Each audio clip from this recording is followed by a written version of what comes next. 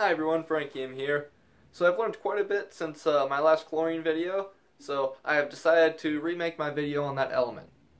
Now, chlorine is all around us. Um, it's found in the table salt we eat. It's found in important disinfectants like pool chlorine, also known as calcium or sodium hypochlorite.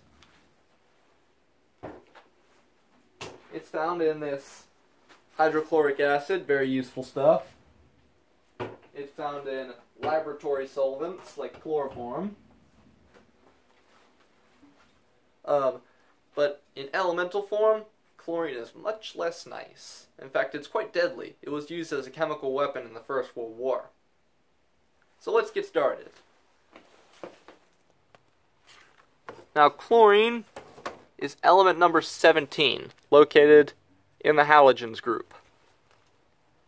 Now, these halogens all lack one electron. They have seven electrons, but they want eight. And they're very, very angry about it. So when they're in pure elemental form, they will react often violently with surrounding materials to get that extra electron and become negatively charged. So, here's the chemical reaction I will be using to produce elemental chlorine. I will be using hydrochloric acid and potassium permanganate. Now, potassium permanganate is a potent oxidizer. This manganese atom has a charge of positive 7. That means it's very electron deficient. It's not very happy about it.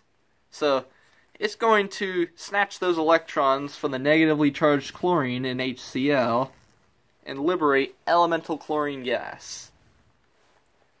Now, in elemental form, Chlorine is a highly toxic yellow-green gas, and exposure to this substance is very, very painful. So, I highly, highly recommend working with chlorine either in a fume hood or with a respirator. Let me put this on before we get started. Alright, now before I get started working with chlorine, let's check all these safety items off. One, goggles. These need to be these need to be sealed. Getting chlorine gas in your eyes is very painful. A respirator, so that I don't destroy my lungs. A fume hood works too. Gloves, and a lab coat. Alright. Now this is not this is not required, but I recommend it. A spray bottle of sodium bicarbonate solution. Now, when you want to get rid of chlorine gas, if you spray this bottle at the chlorine, it will neutralize it back to sodium chloride. Alright. So here's how this is going to work.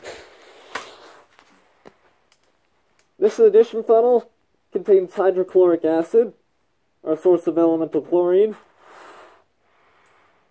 And that solid in there is potassium permanganate. That's going to be our oxidant to turn Cl minus into Cl2 gas. Now, the elemental chlorine is going to fill that flask here,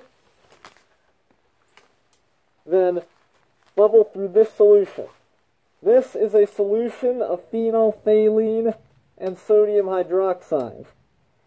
Now this is a strongly basic solution currently, but that will all change once the chlorine bubbles through. Chlorine converts to hypochlorous and hydrochloric acids in, on contact with water. Now that's going to neutralize the sodium chloride of uh, the sodium hydroxide back to sodium chloride, and then is going to acidify this solution and turn the purple phenolphthalein indicator clear. Now, one of my demonstrations of the oxidizing power of chlorine is to bleach the indicator in this litmus paper. The chlorine uh, oxidizes the indicator in here to turn it white. So I'm going to place that just above the, phenolphthalein solution Now, let's open the addition funnel and start producing the element.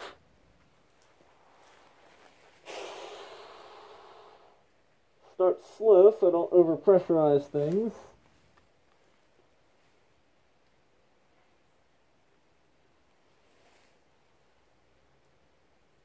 And there it is. Now, over time, the air in the system will be expelled and you'll start to notice a yellow-green color. There. Now some of the air is being expelled, and as chlorine fills the system, the chlorine will start coming through and acidifying the solution. You can already start to see the yellow-green color in this flask where the chlorine concentration is highest. Now, the chlorine is going to fill this flask from the bottom up because it is a heavy, denser than air gas. That was one of the reasons it was used as a chemical weapon in the First World War. It would sink into and linger in the trenches. And believe me, this gas is not a nice way to die.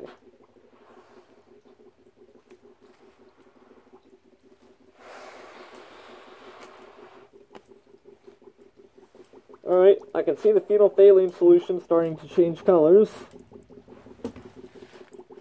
And the litmus paper has turned white. The elemental chlorine has oxidized the uh, indicator.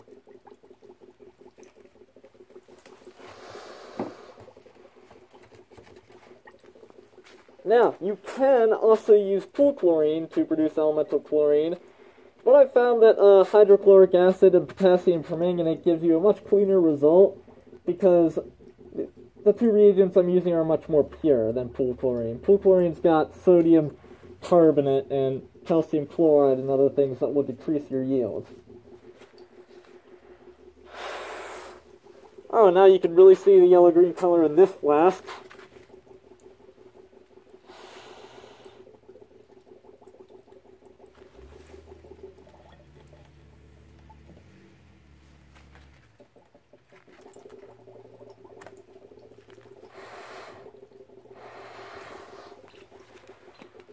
Now the phenolphthalein solution is cleared up. The chlorine has acidified the uh, solution.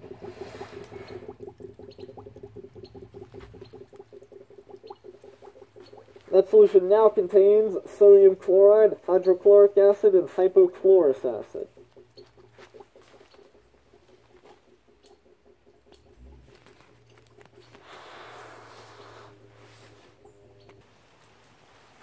Now, this flask has been filled with chlorine gas. Let's test some steel wool on it. Now notice again that the uh, chlorine is sitting in, in the flask because it is heavier than air. Gases don't behave that much differently from liquids. So let's light this.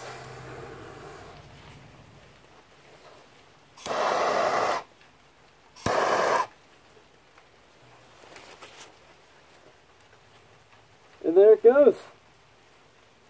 Now that brown smoke you see is iron chloride. The chlorine, much like oxygen, has rusted the steel wool. This is just iron chloride instead of iron oxide.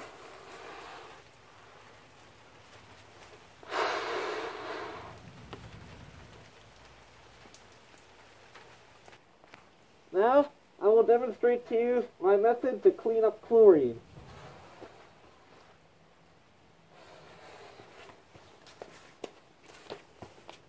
So, spray again, spray bottle of sodium bicarbonate solution, baking soda.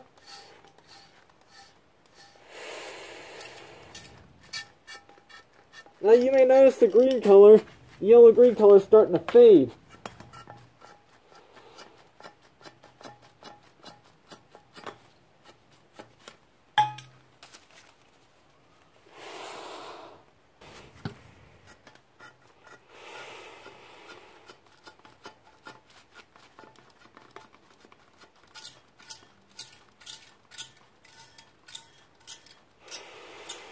Sorry about that, guys. It clugged a little bit there for a sec, but there we go. So you've noticed that just about all of the yellow-green color has now disappeared. So if you want to get rid of chlorine gas, spray this around for a while. It works pretty well. Now, last, but certainly not least, I'm going to burn a very strong reducing agent, sodium metal, and chlorine gas to make table salt the extreme way. Now, for best results, I'm going to heat the sodium red hot.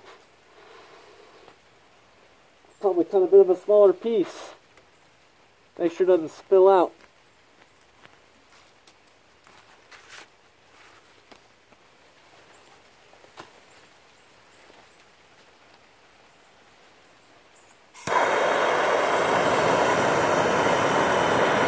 Now I want to heat until the sodium starts glowing.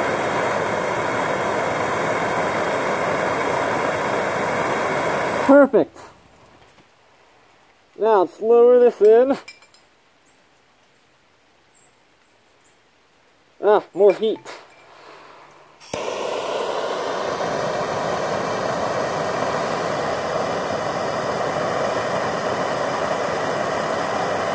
There we go. Now let's be a little quicker this time. There we go. Pretty cool, isn't it? Lights up the whole room. Now that white smoke you're seeing is tiny particles of the same table salt you eat at the table. Well, at meals, I mean. I wouldn't recommend eating this because it is likely contaminated with sodium hydroxide and sodium carbonate from the sodium metal.